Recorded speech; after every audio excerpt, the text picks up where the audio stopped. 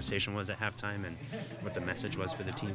Um, it was like um, even if something goes wrong, you lose a ball, just remember everybody's like we cover you. You know, like we have your back, and um, we're already with one, uh, one man down at that time. So don't try to um, think about the lose ball or something. Just get in your position and fight, fight till the end. And uh, um, I think everybody did it. Everybody understand it, and um, I think that's what got us uh, got us the result.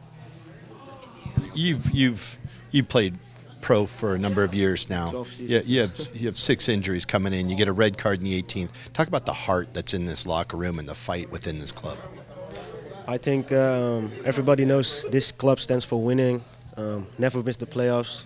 That speaks for itself. But you know, when you when you have to, how do you say, climb a wall, uh, especially with a man down, knowing the result from last week, coming out good and strong, they score quickly. You are a man down now, and still have the heart uh, uh, to to get everybody on the same page and get this point.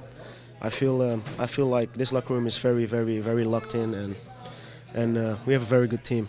You've made all starts this year. You're working with different guys. Talk about Jordy Delem's performance this afternoon. I think he, he put in a good amount of work, played good, understand uh, what we were dealing with, especially with a man down. I think he, he he's done a lot of cleanup in the middle for us.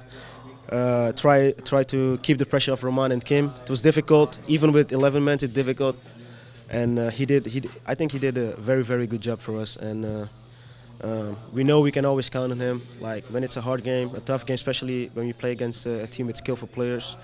I think Jordy is the guy to clean everything up, and uh, he did very well. And finally, for the club, everyone's back to a normal week. Yeah. Next Saturday's the next game for everybody else, Yeah. but you and Christian possibly. But talk about back to the rhythm and, and how tough this past week has been with three and eight.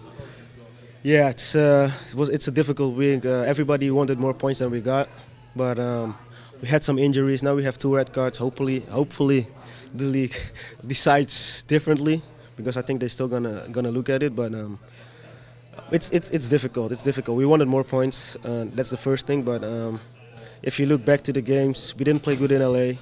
We came back from a 2-0 game against uh, San Jose, and now you play with 10 men and you get a point. I think in the end, um, it's not what we wanted, but I'll take it. I'll take it if I see how the games went afterwards. And um, yeah, it's something to build on, especially the game from today.